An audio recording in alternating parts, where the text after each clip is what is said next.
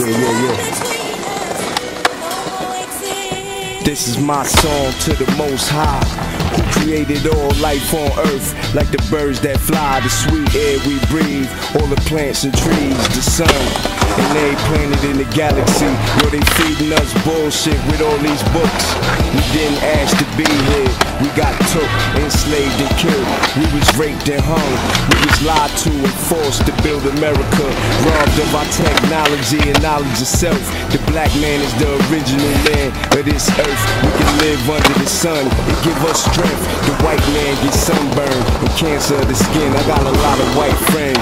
I'm not a racist. I acknowledge the most high. I'm not an atheist. I just see through the bullshit and speak my mind. They terrified of my words, so they censor my rhymes. Good Lord, I'm crying out to you. Have mercy on the slave master's souls. They did us dirty.